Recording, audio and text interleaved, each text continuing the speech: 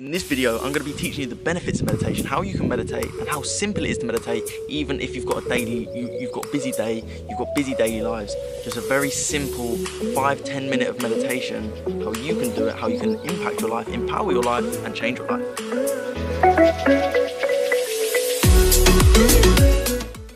So I'm Maximilian, welcome back to another video. I help people empower their lives. And a great way you can empower your life is by meditation.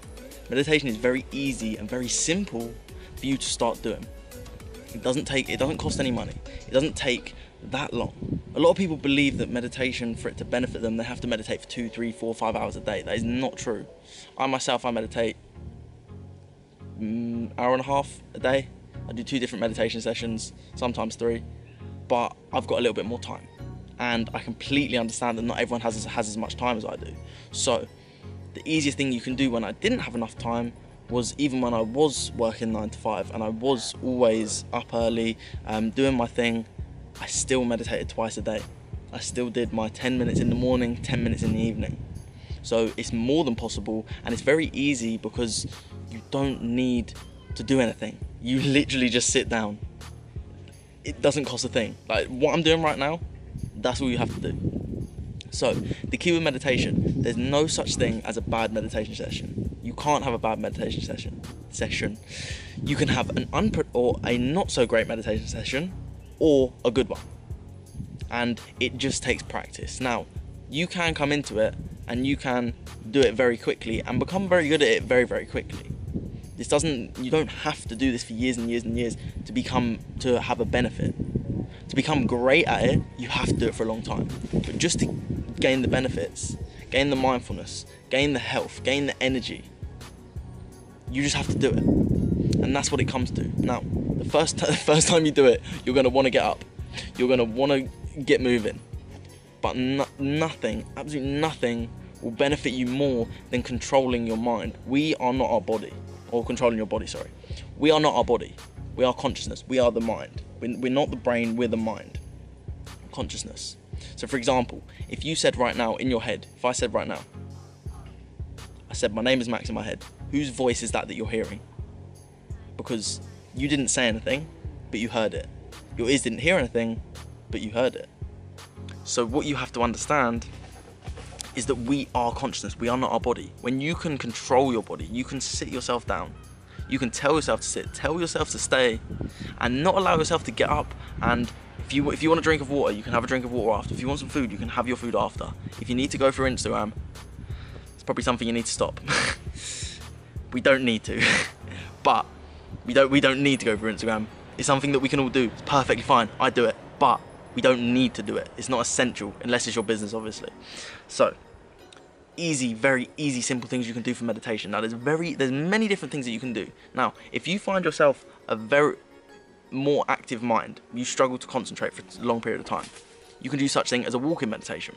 Now, all it is is just being mindful of your breath, being mindful of every step, and literally just deep breathing through the diaphragm. So as you breathe in, your belly comes out.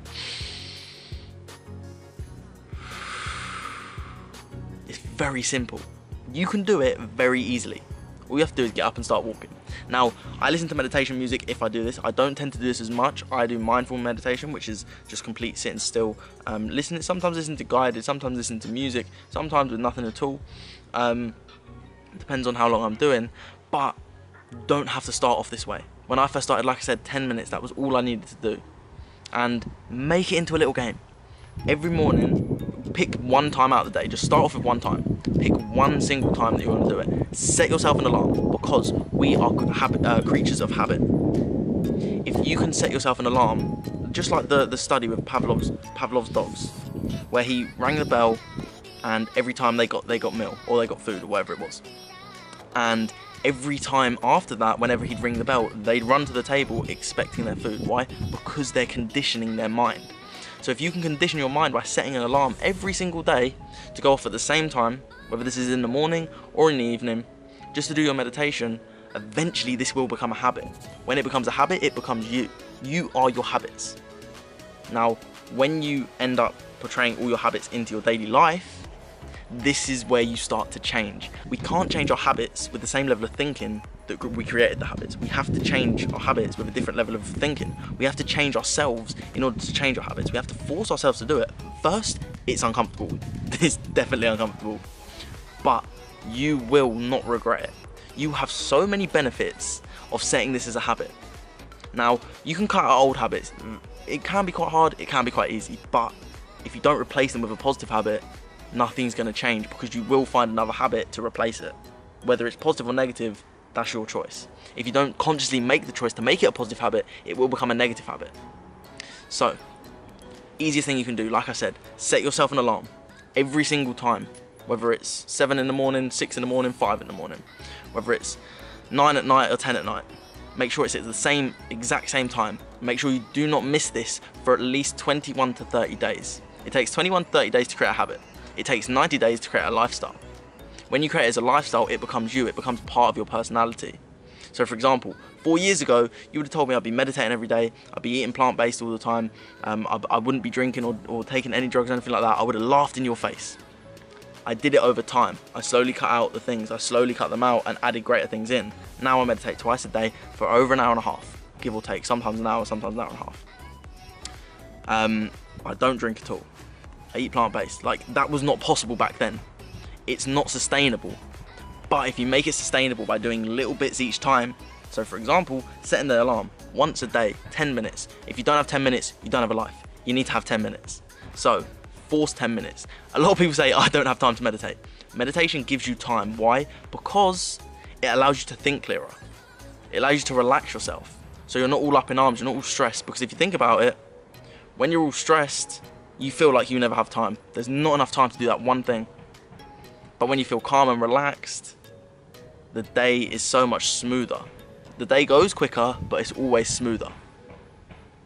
So what I want you to do is I want you to set the alarm for tonight or in the morning and make sure you do your meditation tonight or in the morning. Hope you got some value from this video. Have an absolutely amazing day. Keep spreading positivity and keep smiling.